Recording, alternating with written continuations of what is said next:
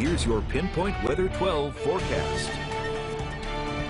Well, really nice weather weekend here in southern New England. Only little hiccup is uh, maybe on Labor Day morning, but it's not a big deal. Let's take a look at what's happening at the moment. Our camera at the Fox Point Hurricane Barrier looking southward. Of course, we've got the tugboats there in the foreground and blue sky. Few clouds there in the background. Nice evening so far. Live radar, shower, thunderstorm free, and that's the way it'll remain. Our threat tracker right through Sunday, low. Now, Sunday night and a Monday, we do have the chance for some showers and thunderstorms. Talk a little bit more about the timing and potential impacts in just a second. Here's New Bedford, sunshine, bit of a breeze here in New, New Bedford Harbor, looking down uh, the Providence River here. Of course, here's the I-Way Bridge. Looks like travel is uh, moving along A-OK. Traffic's moving A-OK. Blue skies, few clouds around, temperature 73, wind from the northwest uh, about 14 miles an hour, so a little bit of a breeze out there, but it's nice. 72 in Richmond, 69 now in Coventry and Smithfield and Glendale. Over in New Bedford, low 70s.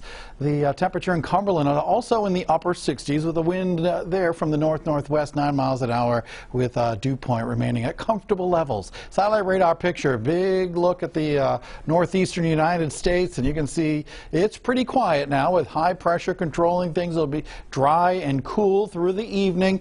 Put the map into motion, the hour by hour forecast. Going to walk you through the upcoming weekend. Here is 8 o'clock tomorrow morning. We start off with sunshine, although a little on the chilly side to start the day. Now, in the afternoon, we're looking at sunshine mixing with a few clouds, warm in the afternoon, and dry right into the evening hours. So, Saturday morning, morning looks like this. Temperatures climbing back through the 60s and 70s.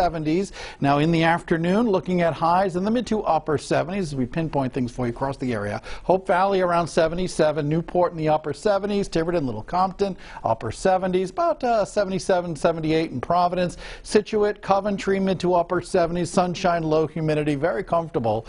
Over in southeastern Mass, Attleboro's at 77, same for Fall River, New Bedford about 78. Thinking of heading to the beach, we are looking at sunshine for your uh, Saturday with temperatures in the low to mid 70s. Now let's talk about your Sunday. I think we're going to be seeing some mid and high level clouds coming in throughout the afternoon hours with some rain showers likely holding off until after 8 p.m. Now Sunday night and into Monday morning could be looking at a period of showers and thunderstorms, but I think they're mainly gone by uh, 7, 8 o'clock in the morning. In fact, partly to mostly sunny skies should prevail for Labor Day afternoon. Here's that seven-day forecast. So again, we're looking at the chance for some night showers Sunday night and into Monday morning.